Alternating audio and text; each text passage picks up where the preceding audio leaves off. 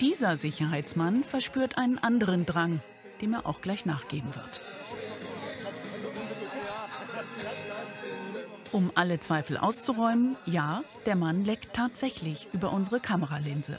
Sie haben eben die Kamera abgeleckt, ne? Nee? Erst geleckt, dann gelogen. Typisch AfD.